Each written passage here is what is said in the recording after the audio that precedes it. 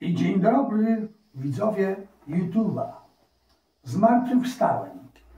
Chciałem wam pokazać, że mam zajebistą willę, tylko dzisiaj mam problem, bo spadł śniegu i nie mogło dojść do mieszkania, ale słuchajcie, stracz jest.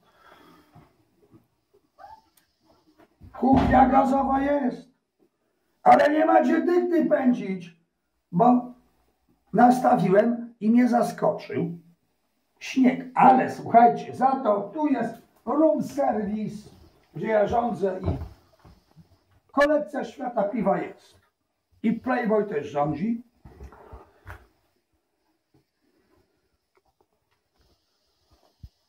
I oczywiście jest dobrze.